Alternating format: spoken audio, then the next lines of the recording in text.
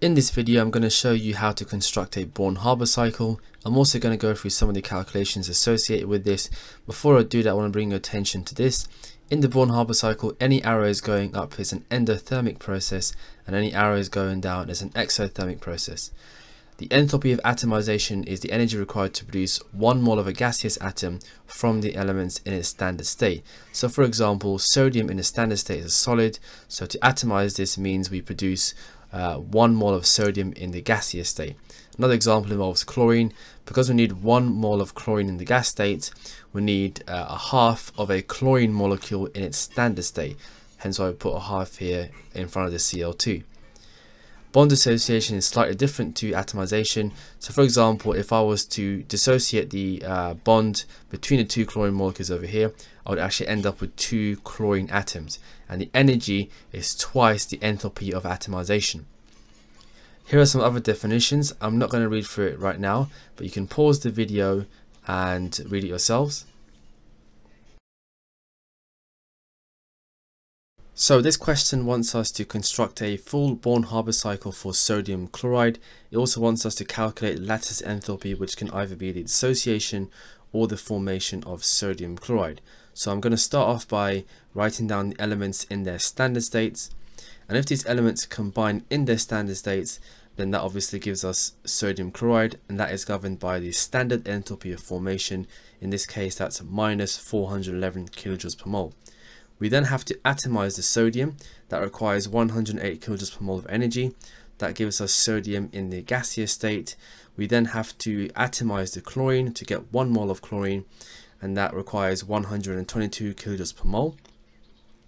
The next thing we have to do is to ionize this sodium.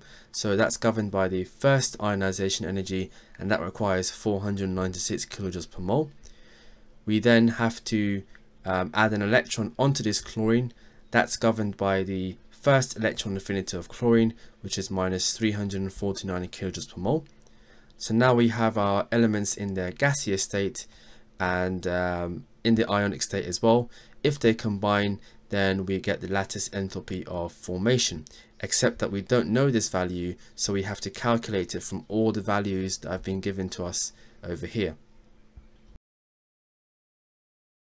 So to calculate the lattice enthalpy of formation for sodium chloride, we need to understand that there are two ways of getting to sodium chloride from this cycle. So one involves the standard enthalpy of formation, which is minus 411 kilojoules per mole. I've called this route A. The other route takes into account all of these intermediate steps over here to get to sodium chloride, and I've called that route B.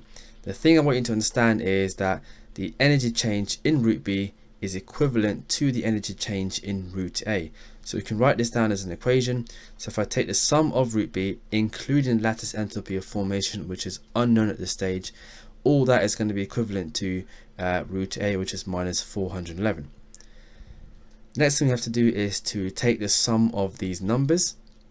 That gives us 377. We move the 377 over to the right hand side, which turns it into a negative number.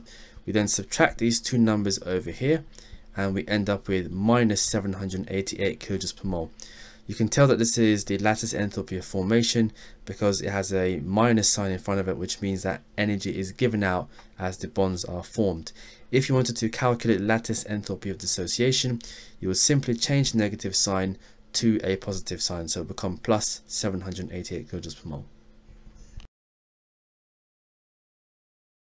So now I'm going to show you how to calculate the electron affinity. So here's a question from one of the Unit 5 uh, AQA chemistry papers, which wants you to construct a fully labeled Born-Haber cycle for the formation of barium chloride, and it also wants you to calculate the electron affinity of chlorine based on the values given over here. I'm going to let you pause the video so you can have a go at this yourself. So what you should get is a Born-Haber cycle that looks something like this. The enthalpy of atomization for chlorine has been multiplied by 2 because there are two chlorine atoms in barium chloride. Barium also has two ionization energies, which are shown over here, plus 503 and plus 965. The first electron affinity of chlorine has been multiplied by 2 because once again we have two chlorine atoms in barium chloride this is important because once we work this uh, answer out, we should divide it by 2 to get it for 1 chlorine. lattice enthalpy of formation is given to us, which is minus 2056 kilojoules per mole.